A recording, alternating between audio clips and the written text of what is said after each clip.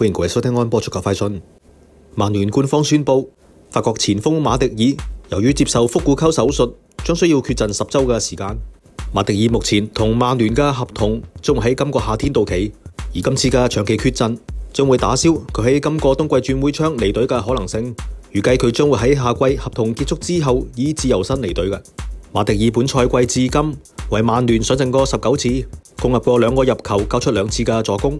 佢对上一次为球队出场系去年十二月九号，曼联对阵本地茅夫嘅赛事。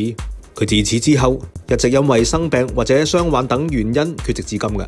近期有传马迪尔已经进行紧登陆训练，务求恢复比赛状态，但系随后有消息传出，佢其实一直喺度处理紧臀部嘅伤势。